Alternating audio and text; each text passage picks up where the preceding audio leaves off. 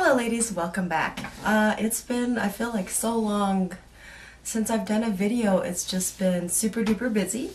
But um, this is a fun topic this week, and if you can tell, I kind of have a cold. um, it is, and I came up with this topic. What were you, good, bad, or really bad? in high school and I just thought it would be something that would be fun to know about everybody. Um, I saw Stormy's video on Sunday where she guessed that I would be, would have been good. I don't know, do you guys believe her? do you think she was right, that is? um, I'm afraid to tell y'all that that is not the case. I was not a very good girl in high school. um, well, firstly, I went to one room schoolhouse out in the country up to ninth grade. And um, my parents did divorce, uh, so my mom moved to the big city, you know. so I wound up going to a completely different high school with nobody I knew.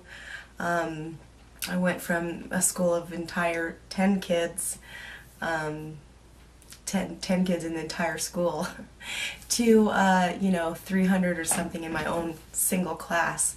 So it was a different experience uh, for me, and I probably fell in with the wrong crowd. Um, I, I didn't do anything terribly bad. Like, I, I really didn't experiment with drugs or uh, anything like that. I did like to go to parties and I drank beer on occasion. I was put in JDC once for a fist fight in school, which I would like to say that I won.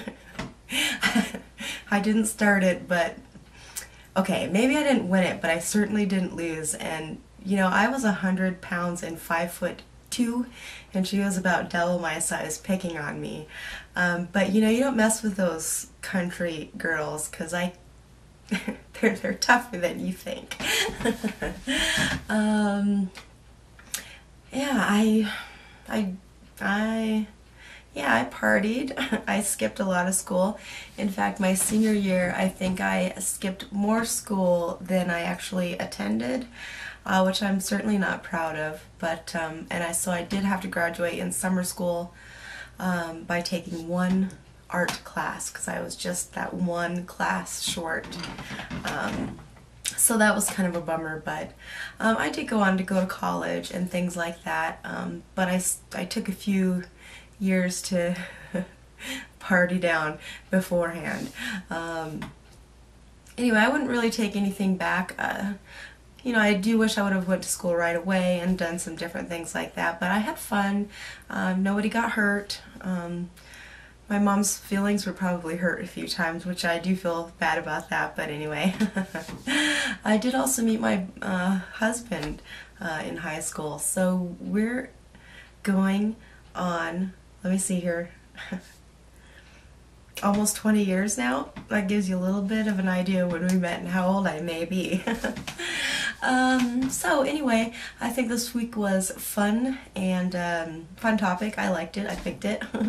and um, I hope everyone's doing well and we'll see you again soon.